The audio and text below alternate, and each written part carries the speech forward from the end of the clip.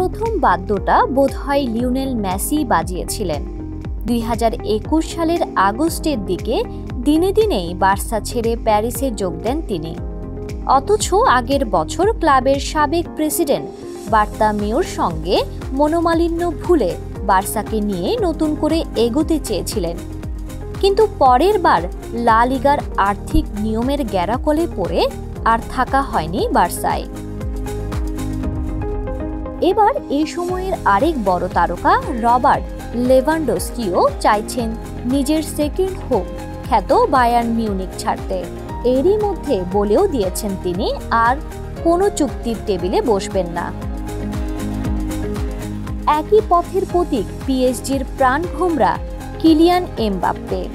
প্রায় সাত বছর জুবেন্তাসে কাটানো পাওলো দিবালাও চোখের জলে আঁকলেন গৌধুলির লগ্নটা। আর সতেরো বছর যে জুব জার্সি গায়ে রক্ষণ দেয়াল সামলেছেন সেই জর্জিও চিয়েল্লিনও চলে যাচ্ছেন বাঁধন ছেড়ে। ইউরোপিয়ান ফুটবলে কি বলতেন? মেসি বার্সার জন্যই জন্ম হয়েছেন। তার ক্লাব একটাই, বার্সা। পরে যদিও সেই সুতোই চির ধরে।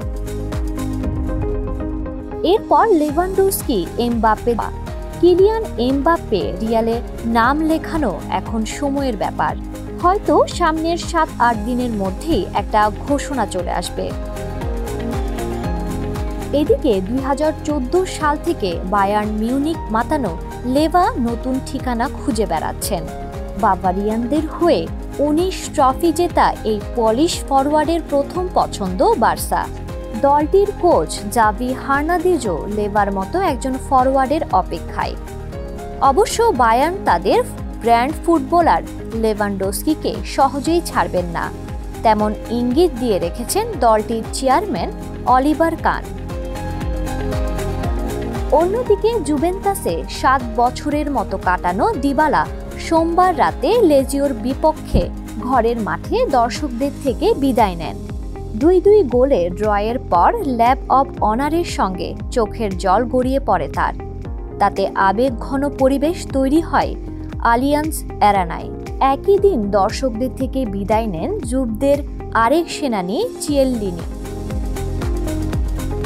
নতুন ক্লাব খুঁজছেন লুইস সুয়ারেজো অ্যাথলেটিকোর হয়ে এটাই তার শেষ মৌসুম। এরই মধ্যে জানিয়ে দিয়েছেন সাবেক বার্সা তারকা। তাছাড়া দুই হাজার পনেরো থেকে পিএসজিতে আলো ছড়ানো ডি মারিয়া এখন এক বছরের চুক্তিতে জুভেন্তাসে যোগ দিতে রাজি। উম্মেরাহি সমকাল।